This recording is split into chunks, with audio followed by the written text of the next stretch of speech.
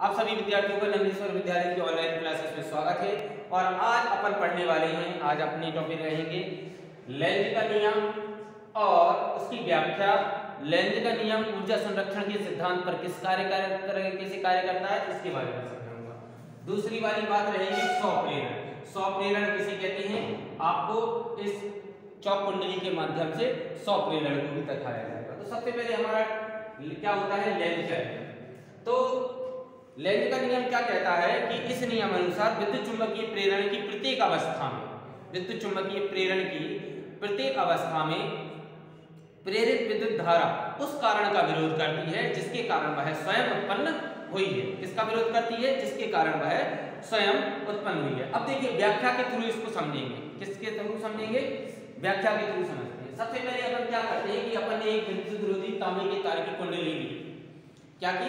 विद्युत रोधी तांबे तार की एक कुंडली और अगर आपको इसको चेक करना है तो इसके साथ आप क्या लगा लगा दीजिए वोल्ट मीटर लगा दीजिए, या अमीटर लगा दीजिए आप।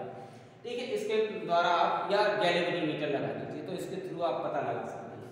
सबसे पहले हम क्या करते हैं, चुंबक के उत्तरी ध्रुव विद्युत रोधी तांबे के तार की कुंडली के पास लाते हैं। जब हम उसके पास लाते हैं तो यह जो उत्तरी ध्रुव है, क्या होता है? ये जो उत्तरी ध्रुव है, जैसे ही हम उस कुंडली के पास लाएँगे, उत्तरी ध्रुव कुंडली के पास लाने पर उसका विरोध करता है। क्या करता है? उसके पास लाने का विरोध करता है। कहने का मतलब अगर ये उत्तरी ध्रुव है तो ये भी क्या बन जाएगा? उत्तरी ध्रुव। चुंबक का प्रतिरोध करती है। जब दो चुंबकों के समान सिरे पास में आ जाए, समान सिरे पास में आ जाए, तब विरोध करती है। तब उसमें प्रेरित विद्युत धारा की दिशा क्या रहेगी? वामावर्त क्या रहेगी? वामावर्त यानी कि इस प्रकार से घूमेगी। एंटी क्लॉकवाइज ठीक है? अब क्या क्या किया अब अपन क्या कर रहे हैं? चुंबक को दूर ले जा रहे हैं। कुंडली से क्या कर रहे हैं? चुंबक से दूर ले जा रहे हैं। तो उत्तरी ध्रुव को अपन क्या कर रहे हैं? ये सॉरी उत्तरी ध्रुव है, इसको अपन क्या कर रहे हैं? दूर ले जा रहे हैं। तब यह दूर ले जाने का विरोध कर रही है। चुंबक दूर ले जाने का विरोध कब करती है? चुंबक दूर ले जाने का विरोध जब करेगी, जब उसका जो ध्रुव होगा वो अपोजिट साइड का होगा, वो आकर्षित करेगी। नहीं भैया, तू तो पास में आ जा।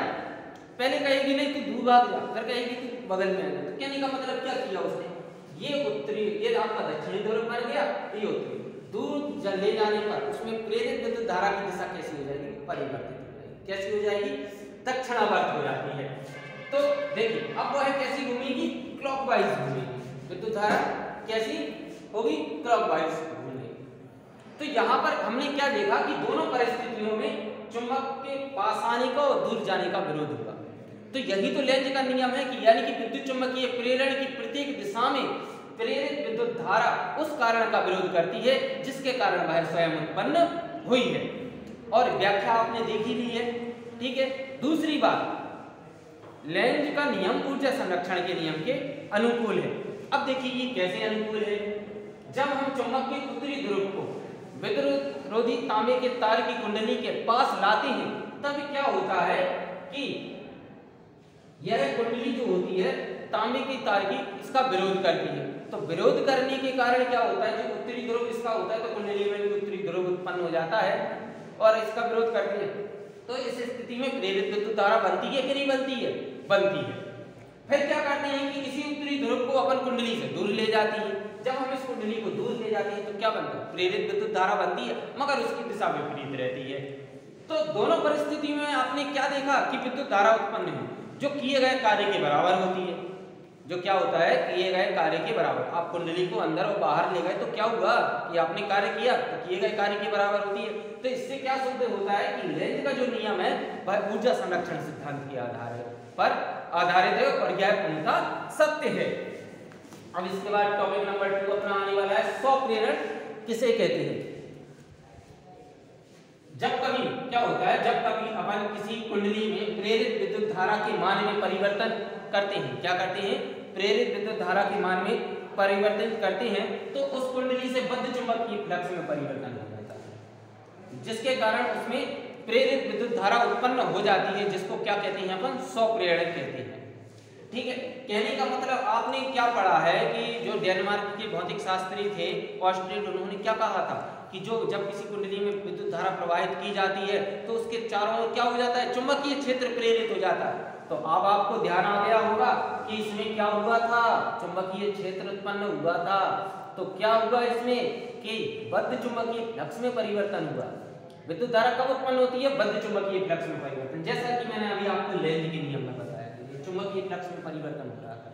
तो ऐसा ही इसमें हुआ कि विद्युत धारा जब इसमें बह रही थी, तब इसमें चुंबक, चुंबकीय क्षेत्र भी उत्पन्न हुआ था और विद्युत धारा भी बह रही थी। जब जैसे ही लाइट गई, तब उसका चुंबकीय क्षेत्र रहा। तब उसका चुंबकीय क्षेत्र रहा।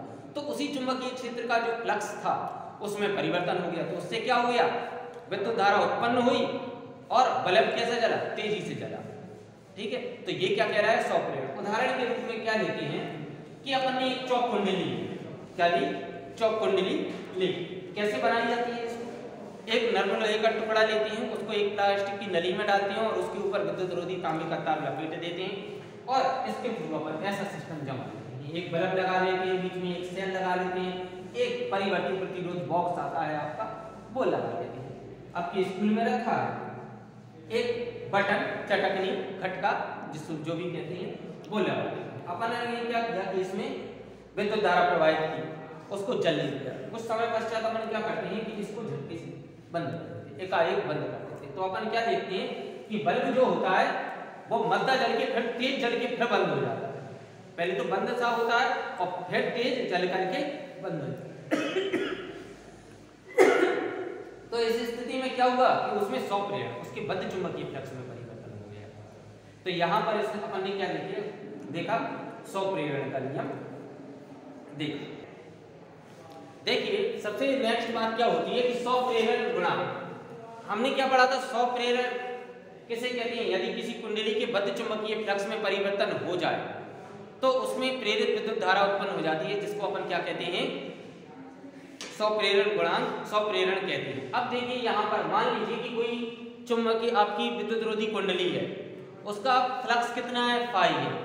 और उसमें अपन क्या कर रहे हैं? आई विद्युत धारा प्रवाहित कर रहे हैं। तो कहने का मतलब किसी कुंडली से बद्ध चुंबकीय किसी कुंडली में आई विद्युत धारा प्रवाहित करने पर, उसके चुंबकीय फ्लक्स में जो परिवर्तन होता है तो भाई क्या कहलाता है आपका? सौ प्रेरण गुणांक कहलाता है।